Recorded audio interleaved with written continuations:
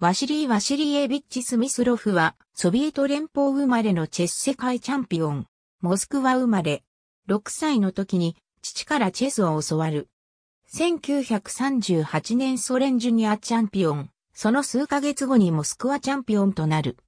アレクサンドル・アレヒンの死によって、世界チャンピオンが空位となったので、1948年に、マックス A は、サミュエル・ハーマン・レシェフスキー、パウリ・ケレス、ミハイル・ボトビニクと新チャンピオン決定戦を戦った。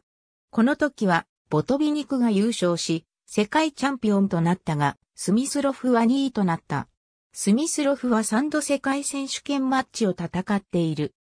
1954年の最初の登場では7勝10、引き分け7敗で、当時のチャンピオンボトビニクに引き分け防衛を許したが、1957年にはボトビニクを6勝13引き分け3敗で破り、世界チャンピオンとなった。だが、翌年のリターンマッチで5勝11引き分け7敗で、ボトビニクにタイトルを奪われた。スミスルフの前世紀は、ボトビニクの前世紀とぶつかったため、もし、ボトビニクがいなければ、長期にわたって世界チャンピオンの座を維持しただろうと言われている。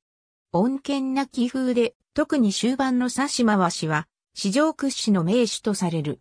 高い気力を長く保ったことでも有名で、1983年には62歳で挑戦者決定戦の決勝に進んで、チェス界を驚かせた。